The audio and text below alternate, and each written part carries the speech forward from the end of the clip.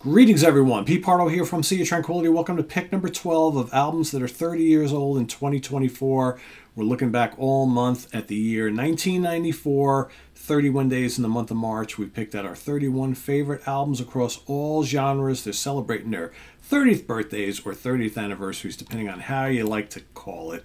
Today, we're going to take a look uh, on day 12 at the third studio album by this American band. It was released June 28, 1994 recorded at Sound City Studios in Van Nuys, California, produced by Chris Goss and the band for Elektra Records.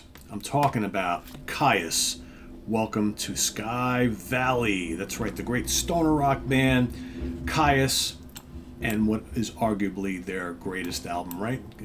Arguably, depending on what you like, right? Never released a bad album. To me, this is probably their crowning achievement the band at this point in time. John Garcia, lead vocals.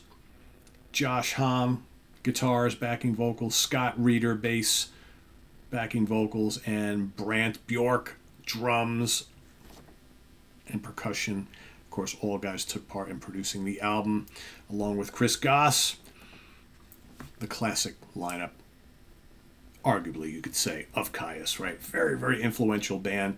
Not around long enough though, unfortunately. And they all went off and did other great things separately, right? We've got all those guys, notable names on the stoner rock scene over the years.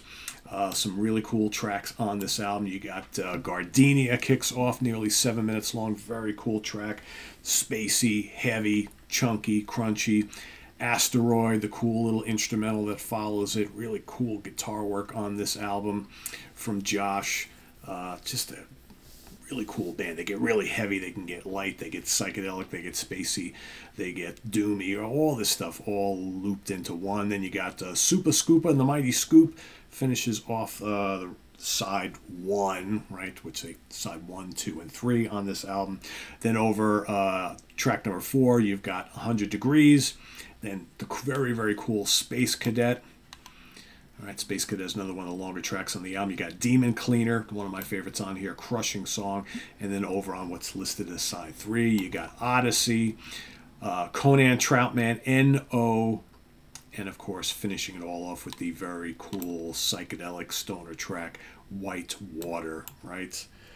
excellent stuff on here. Love the feel of this album. Love the grooves. Love the vibe. Love the heavy riffage right throughout this really cool album. Again, one of those really, really awesome bands from this time period that uh, really set the stage for what we would see on stoner rock and psychedelic rock going forward throughout the rest of the 90s into the 2000s, right? So uh, that's my pick for today. Let's see what we got. Uh, charting positions. We got in Australia, this made it to number 53 on the charts. And in Germany, number 74. No charting stuff back home. Nothing in the UK, nothing in Canada, unfortunately. But like I said, this is a um, very influential, much loved band and album to this day, right? And of course, uh, you know, Mr. Reeder left this band and went and go join the Obsessed.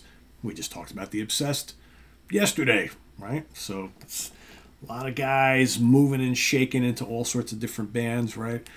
Of course, you know, Josh went and formed Queens of the Stone Age, right? Brant Bjork has gone and done all sorts of things, right? He played with Fu Manchu. He's done a lot of solo stuff over the years. So the, these guys uh, did all sorts of stuff.